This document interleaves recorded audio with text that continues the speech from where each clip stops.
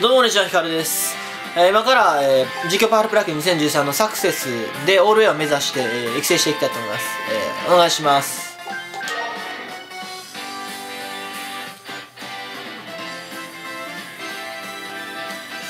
始めるで、えーパワフルでいきます。名前はそうですね、えー、にしようかな。まあ、YouTube なんで腰つべでいきましょう。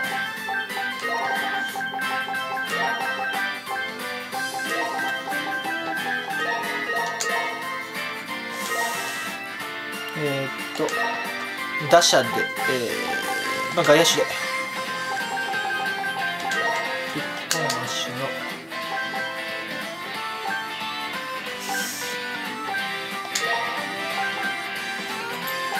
ノーマルでいきます。まあ、エキスパートでもいけないこともないと思うんですけど、えーエキスパート難しいんで、やっぱノーマルのは簡単にホームラン打てるので、ノーマルでいきたいと思います。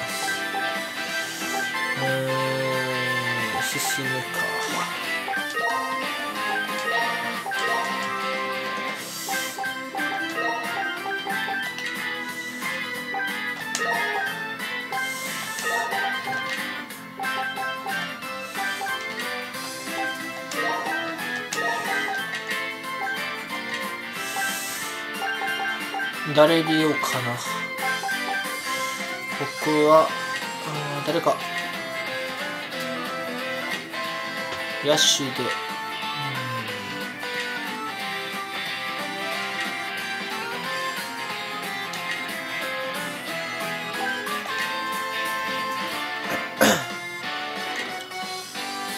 まあ、今日ラブパワーの日なんでちょっとまあと変わった編成でいきたいと思います。あんまりね、してる人いないんですけど、えーっと、僕の場合は、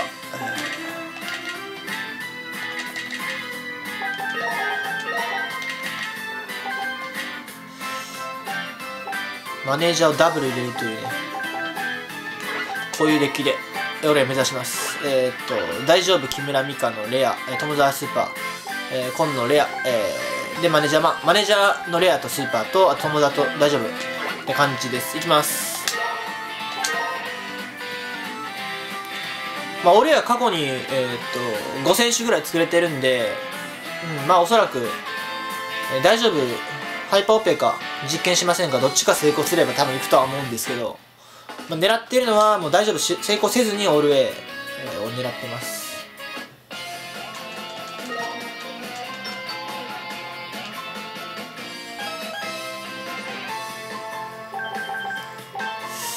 能力が微妙すぎる。まあ微妙すぎるんですがまあもううこの能力がどれぐらいいけるかっていうところで、えーもう走力はいい感じで。まあまあ弾道にやるんで怒りからホームランさえ打てればいけると思います。一応僕の理論としては、えー基本的には守備練習か筋力練習をするっていうのが基本なんですが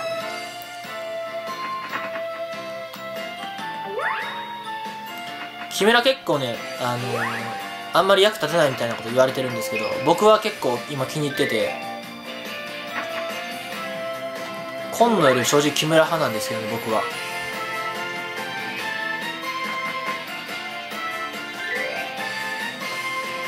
ちょっとこの最初のイベントが長いのがちょっとネックですね。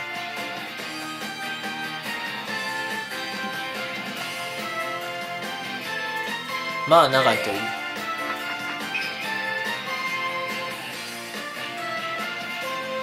俺は四つでよろしく。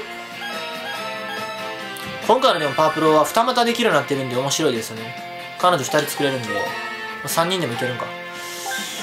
えーっと。できるだけそれでチームメイトが多いところ。あとまあ監督も結構優先してもいいかなと思います。試合に最初に出ればまあポイントもらえるんで。あと育成理論としては基本的には最初ミートとパワーだけを上げ続けるっていうのが基本だと思います。僕僕の場合はそういう風にしています。えーっと。うん。まあ今日はラブパワー狙っていった方がいいですね。マネージャーのところで。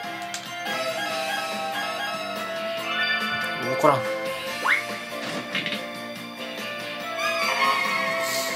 これも結構長いんですよねイベントが。大丈夫。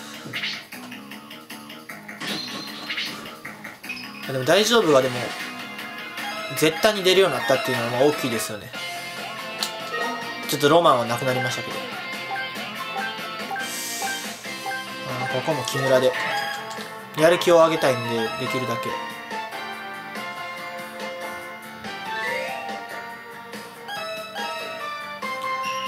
やる気はまあ極力好調以上維持しながら、えー、立ち回っていきたいと思います。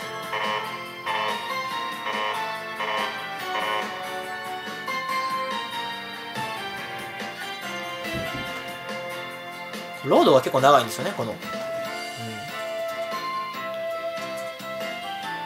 そこだけはねこの惜しいところかなと。パープロ2013の惜しいところロードの長さですね僕は。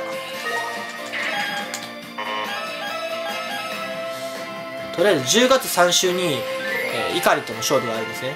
確かに合計で3回、えー、どれも全部3週にあるんですけど10月と1月と確か4月ぐらいですかねやるんですけどえここでホームランを打てるか打てないかで、まあ、大きくね、選手変わってくると思います。変わってくるというか、もうもう確実に変わってきますね。まあ、FF あれば、うん、ホームラン掘り込めると思うんですけど、うまくいけば。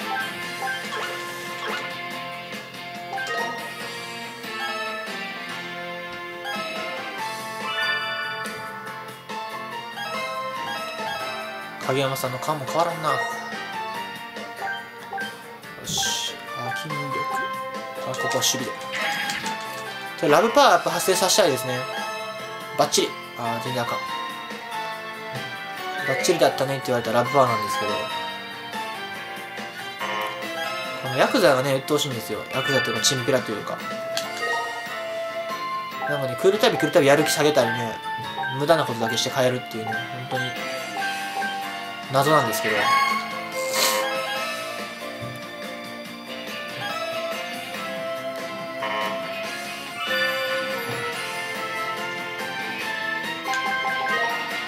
あのまあ能力は基本的にポイント全部使ってあげた方がいいと思います、えー、それはやっぱりその大丈夫出た時のためですね。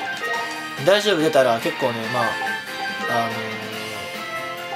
ー、もったいないのでポイント余ってたらポイントはねもう随時使う感じがいいかなと思います個人的には、えー、ここはまあ基本素早く救出がいいんじゃないかと思います、まあ、敏捷ポイント足りなくなること多いんでえーイベントは敏捷ポイント上がりや、え上がるやつを選ぶのがいいんじゃないかと思います。よし行きましょう。あここも守備ですねここは。あ次怒りですね次に。10月3週。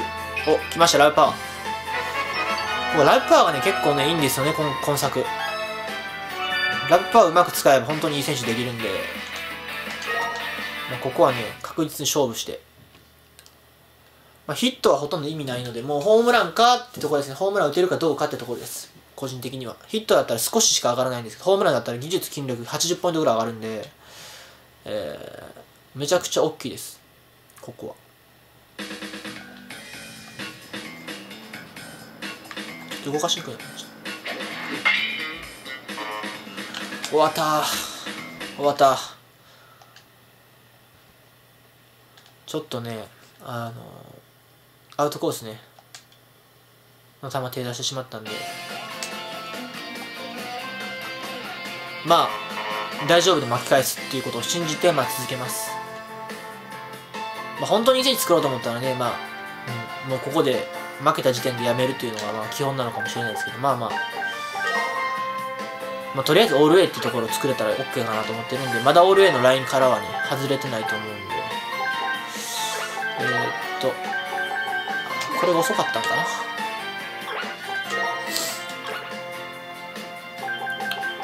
よしいきます。これマネージャー両方入れてたらどっちでラップは発生してもあのラップワー後の練習の体力回復するんで2人入れてたらね結構ねこれね熱いんですよ。ねあんまり知られてないと思うんですけど2人入れてたらねめちゃくちゃ熱いです。あと個人的には友沢のスーパーレアは、えー、使い勝手いいですよ。かなりねいいイベントばっかなんであと木村美香とコンボがあるんでそれも結構使えると思います。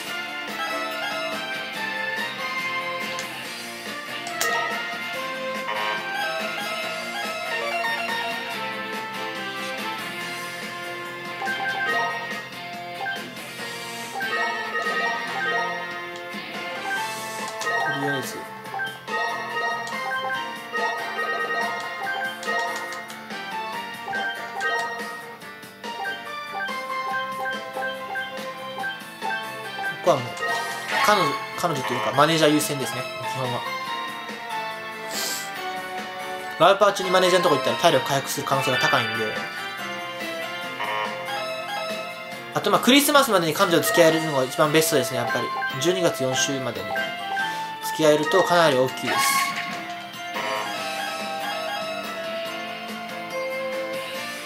このラブパワーコンボはやっぱり最強ですね。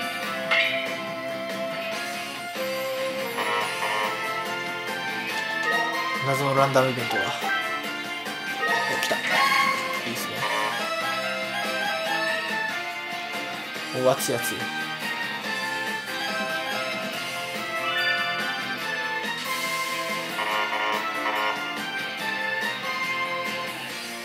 おやる気アップのイベント。地味に精神がもらえると。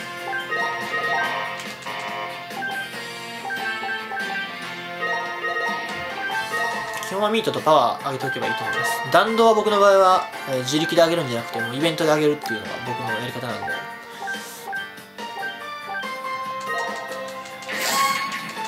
マネージャーがいない。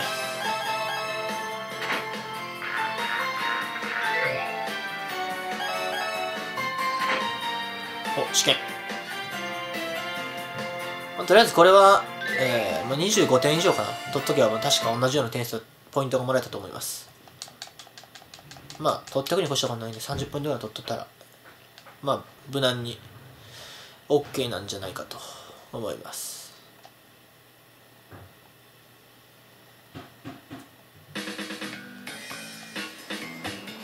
こ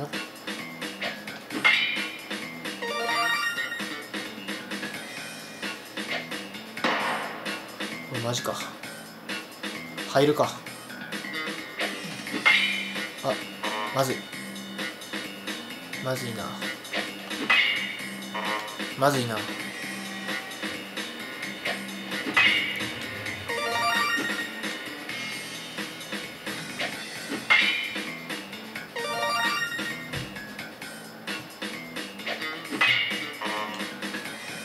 これはまずいぞ。これは大きくまずいぞ。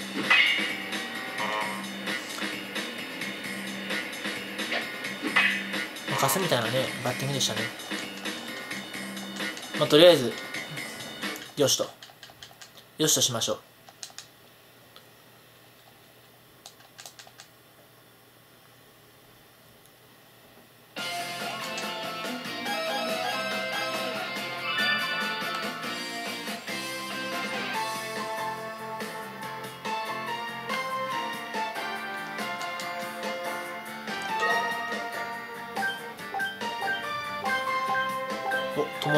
ツイベント。一応。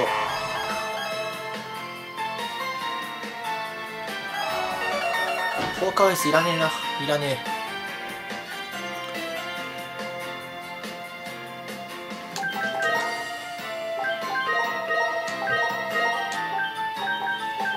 え。よし。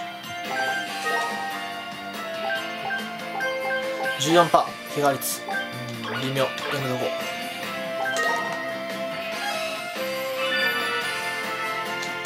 彼女と付き合いそうにないですねこのままいったら。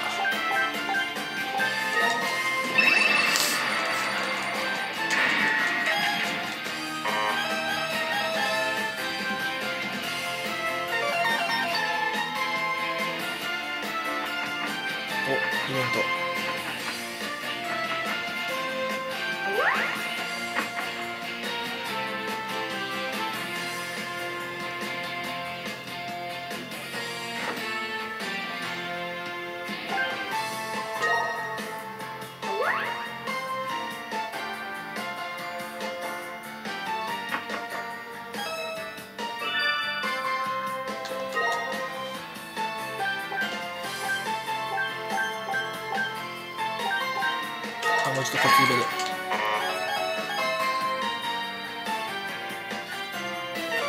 おアベレージいいですね。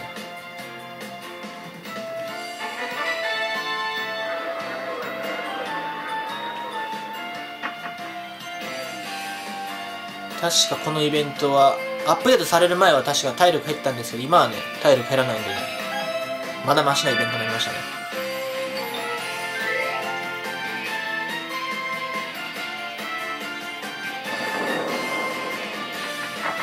クリスマス彼女欲しかったですねやっぱり。矢部君の無駄なイベントが体力を削っていくという悲惨な結果に。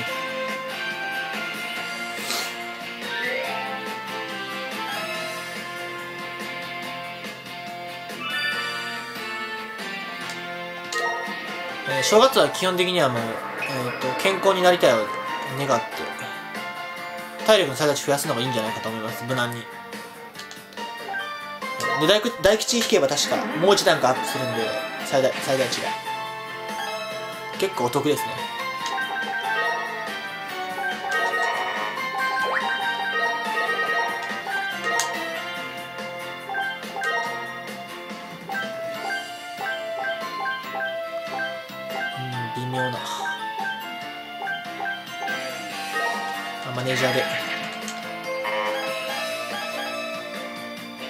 ましたラウパー。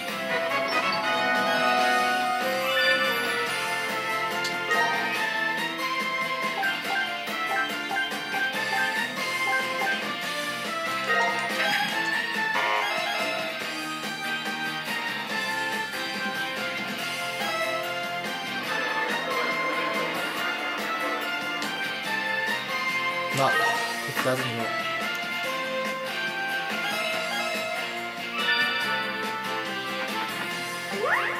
の友沢イベントですねこれも。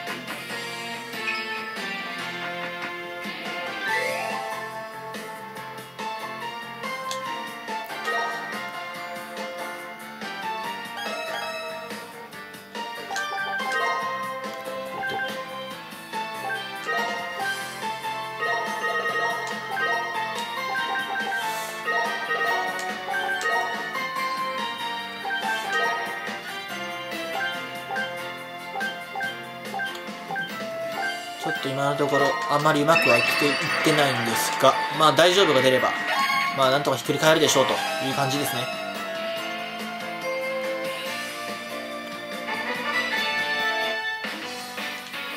ここホームラン欲しいですねやっぱり。もう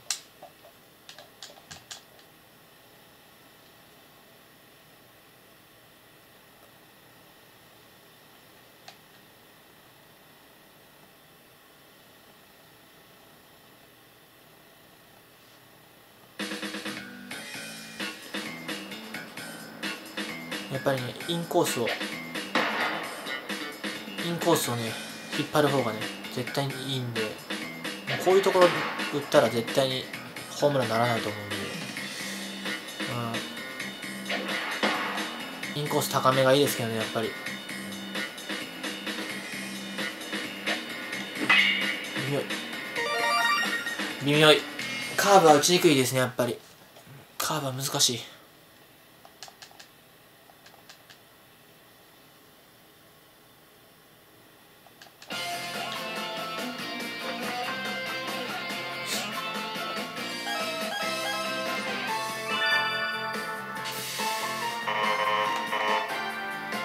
ラブパワーがパワー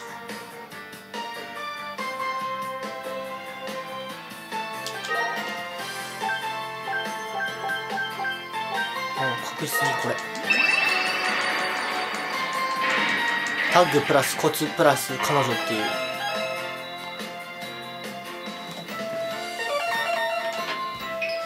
お来ました来ました。ラブパワー。熱い。これはもうとりあえず筋力が欲しいと。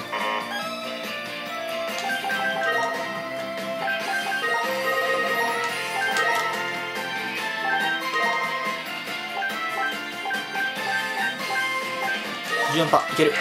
おいった。よしナイス。ここでマネージャーが来ると。よし来ました。ここで体力を大きく。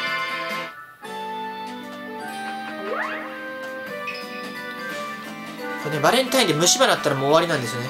個人的には。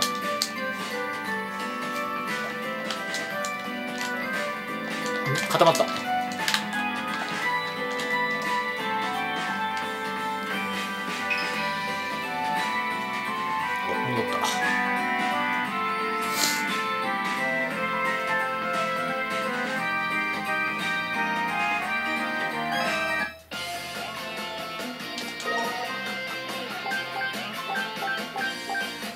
お肩練習熱い。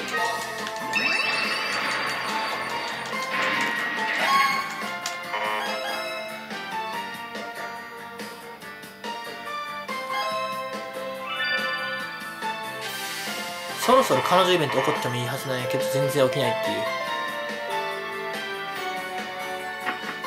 うん微妙すぎるな彼女が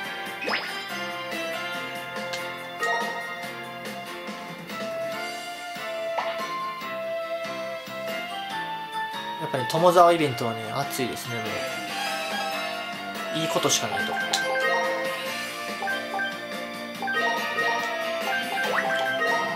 ああ精神が足りんか。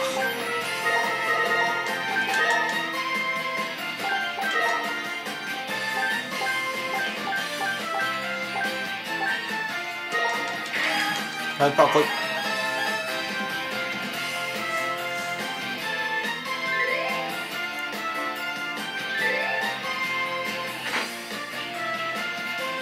代打でしょうね、まあ、これは。代打で。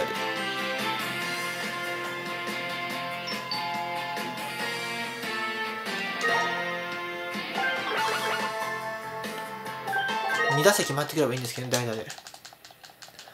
多分6回か5回ぐらいに交代があったら2打席回ってくるっぽいんですけど。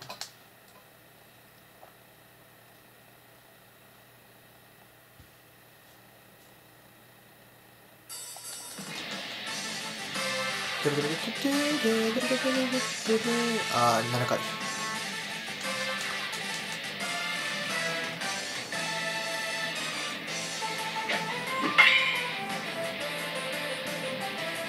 使いにくいトヨタなんとかホームランです。実はこれあれなんですよね。プレイステーション3みたいな感じのコントローラーでやってるんで僕今までビータでやってたんでねコントローラーがちょっと違うんで実は使いにくかったりしてるんで、まあ、言い訳なんですけどね。まあ慣れてくれば多分こっちのコントローラーでもバシバシホームラン連発できるはずなんですけど。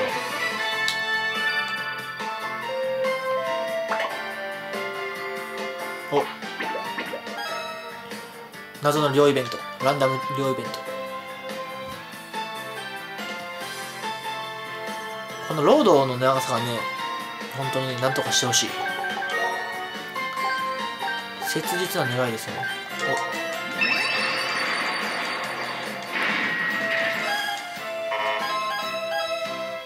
お。よしよしよし。アベレージ。あポーカーフェイスいらない。いらんポーカーフェイスは。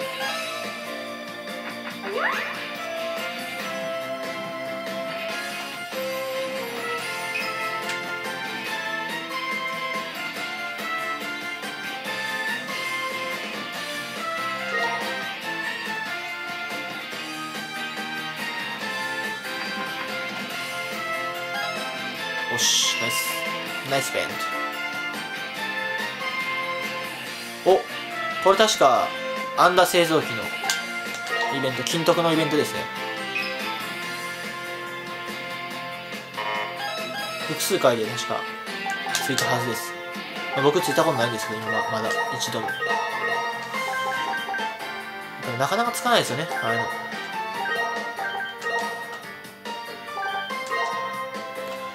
ちょっと今までだとカスみたいな選手ができそうなんで。自分でもびっくりしてるんですが。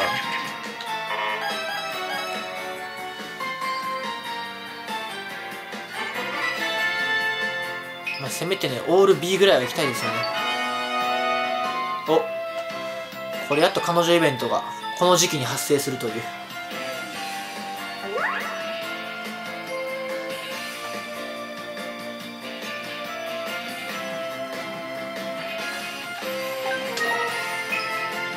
確かこれ上の選択選んだら彼女できない代わりにさよなら男確か手に入ったと思います。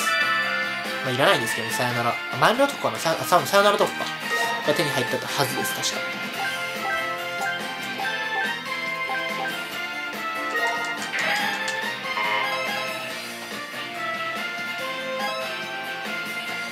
おこれも今度の両イベですね。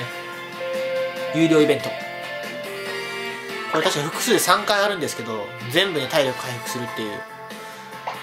確かレアとノーマルしかなかったような気がします。レアだけかなレアとノーマルまだスーパーレアは多分ないと思うんでこれこのイベントは。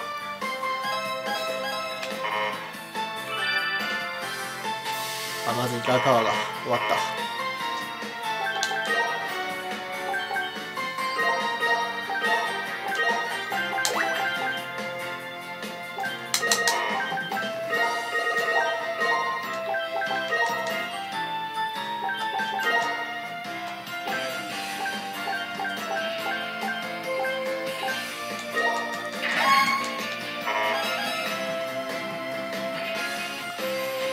パー欲しいですね今。やる気ないんで。ここは休みしかないねあもう4月か。やばい。あと3か月3ヶ月しかない。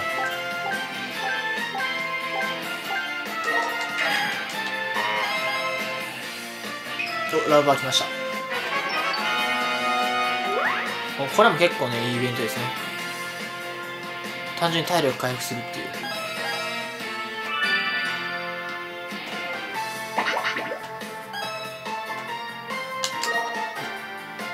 結構運のいいランダムイベント連発。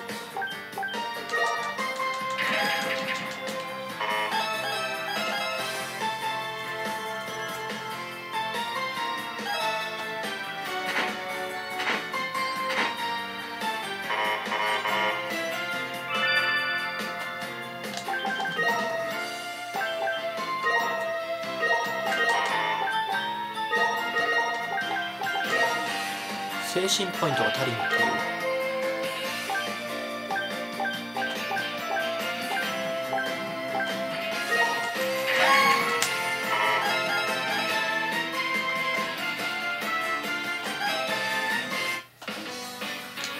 今度こそホームラン。ででも3回目の怒りは確かキャッチャーミット動かしてくるのでちょっと打ちにくかったような気がします。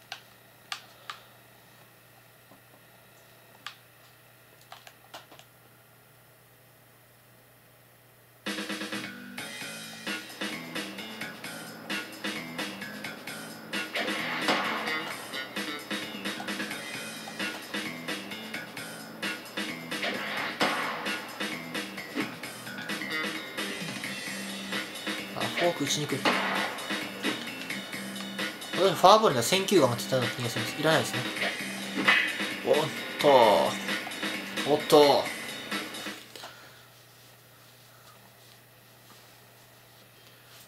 このサクセスはちょっと失態続きというかもうボロボロですね大丈夫博士は出た出ても俺は無理なんじゃないかってレベルの選手ができつつありますまあでもせっかくなんでも最後まで作りますやっぱなんかうまくいくときはなんか全てがうまくいくんですけどうまくいかないときは本当にね全てがうまくいかないですね。多分実力ある人だったらもっとねコンスタントにいい選手作るんでしょうけどやっぱり不安定ですね僕は。イベントデッキも結構適当に組むタイプなんで。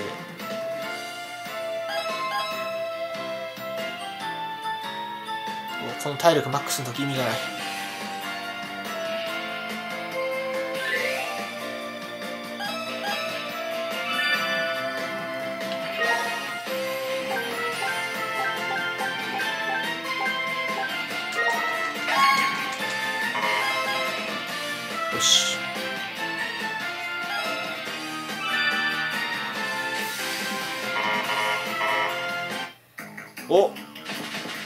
思ったら全くいらないようなイベントが。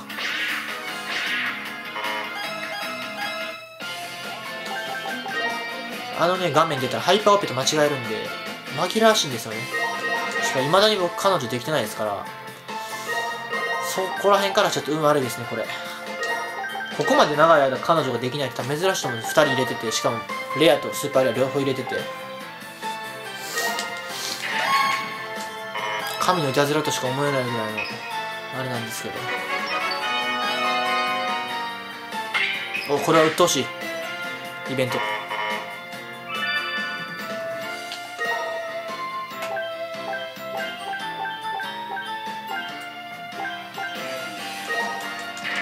おっと9%で。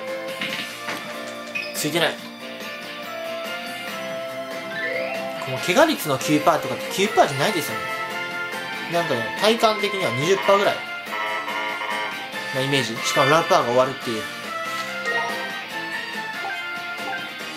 完全終わった。お勝つ。もうここ行くしかない。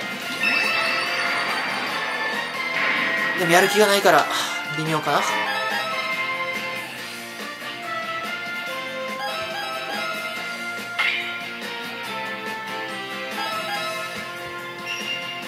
そしてサマー。もう夏か。早い。夏突入が早すぎる。あ敏捷がめっちゃ余っとる。なんでか分からんけど。なぜだ。ああ総力 C があって守備上がってないから敏捷が余ってるんかな。ほんまに。肩と守備を上げたら多分なくなるけど。それを上げる暇がない。上げる余裕がないか。暇はあるんやけどな。余裕がな。いもう全然上がらん。きついきついきつい。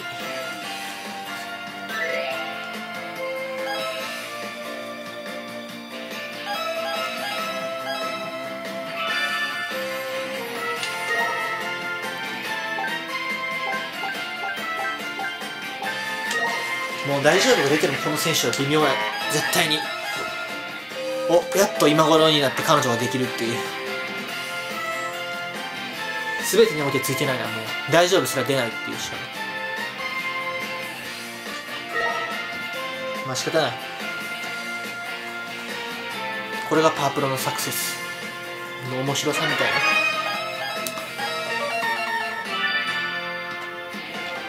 ところですよね。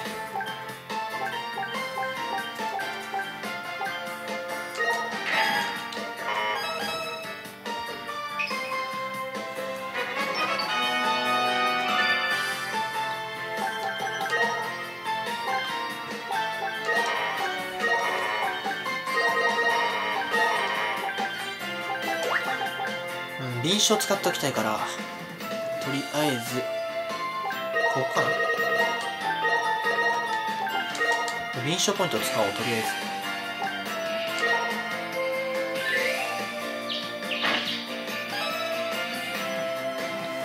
ず。もう試合もうこれはやばい。オール D 行くか行かないレベル。の雑魚さ。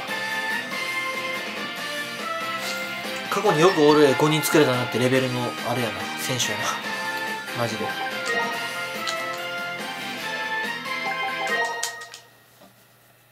自分で作っときながらちょっとびっくりするぐらい弱い選手ができてびっくりしたなちょっと。驚きや。実況プレーを初めて初めての選手はこの雑魚選手で。恥ずかしすぎる。きつい。きついぞこれは。よし。ただもう名誉挽回というかもうもうここら辺から挽回していかないもう無理や。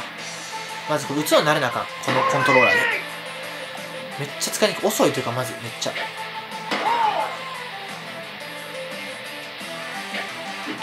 あかんもうあかん。まずあの球に手出したのもあかんわ。でホームランでやっていかないやっぱり。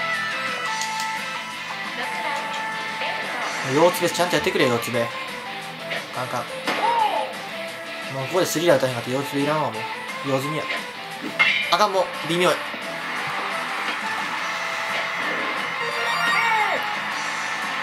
うヒットは打てて当たり前やからもう絶対いらんわこれはもう。うん強振で打つからに絶対ホームランがいい。1試合2本っていうのがやっぱり最低ラインやと思うな。いい選手作ろうと思ったら。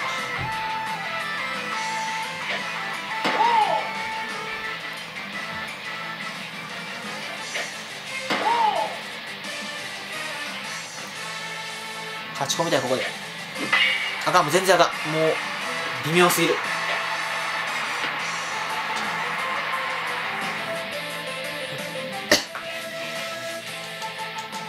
もう一本もホームランが出出そうにないという。う雰囲気的にホームラン打てそうにないからね。あかんもうあかん。終わった。終わったもうしかもアウトやし。ヒットすヒットですらないという。もう最低やな。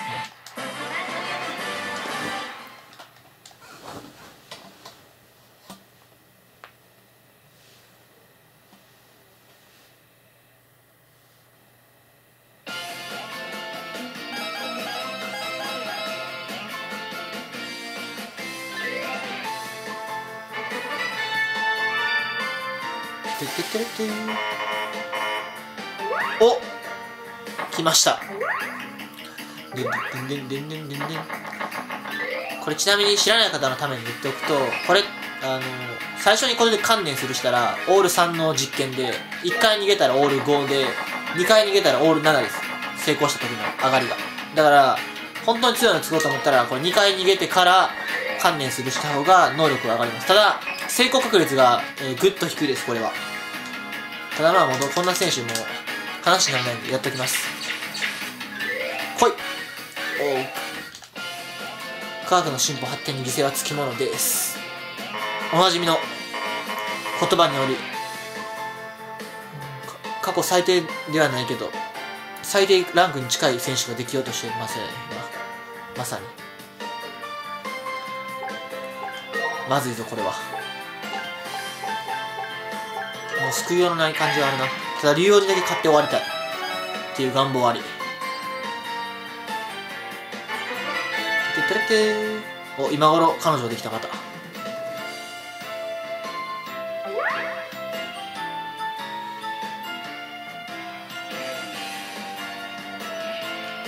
ひどいやつなとっちめてやる。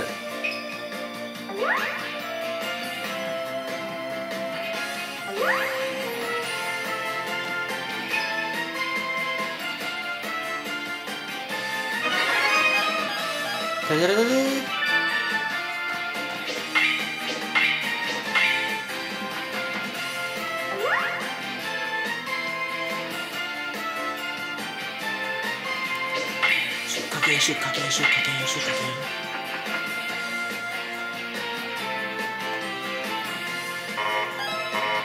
く無念だ。失敗した。失敗するのかあれ。弾道やばい。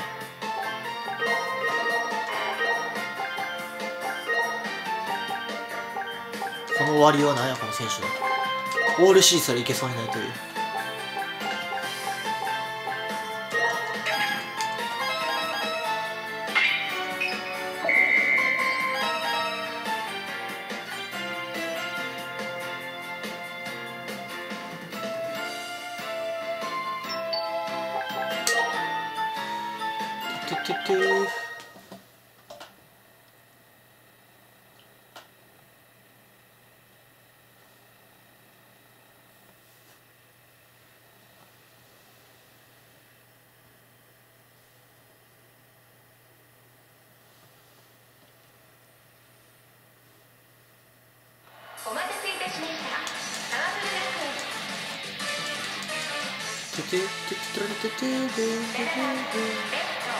両つべ鶴屋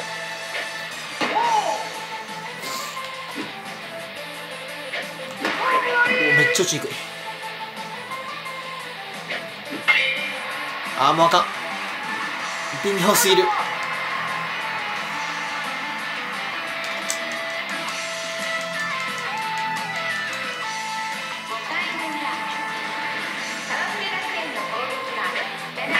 あ打つのが下手くそで投げたくなってくる。レベルで。えなぜか抜けた。なぜだ。なぜ抜けたのかすらわからないレベル。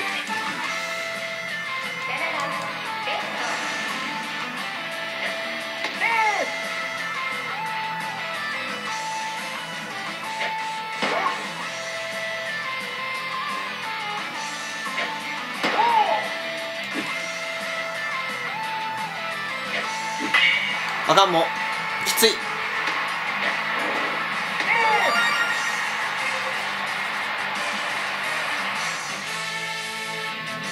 同点っていう。ここで打たなきゃ男じゃないっていう場面。男4つでいきます。この場面で男4つ打たなもうあかんわ。ここ来た！打ち急いだからこの野郎。もうでも仕留めたぞこいつは。こいつは来た。もうこれはもう見切ったぞ。いける。微妙。この微妙さしかもツーアウト。これは微妙やな。負けたっぽいねなんか。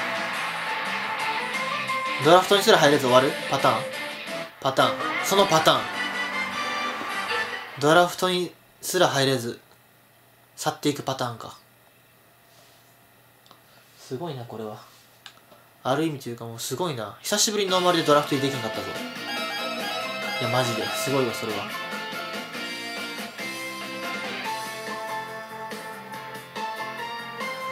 くそ悔しいな。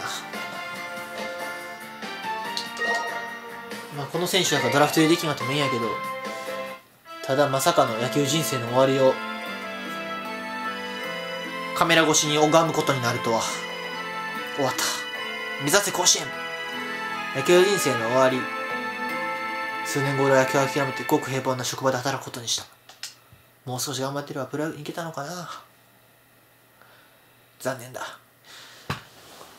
はいというわけで、えー、もう画面をご覧の通り残念な結果になってしまいました、えー、ただあのオール A 諦めずに挑戦していくので確実にオール A 作ります、えー今まで作ったので絶対作れる自信があるんですけどただまあ今回の結果見たらねこいつオール A 作ったのかみたいな疑われるようなあの感じだったんですけどまあ気を取り直してねもうオール A 作るできるまで、え実況動画上げていこうと思うのでそちらの方、えーよければ見てください、え最後までご視聴いただいてありがとうございました、えでは終わります。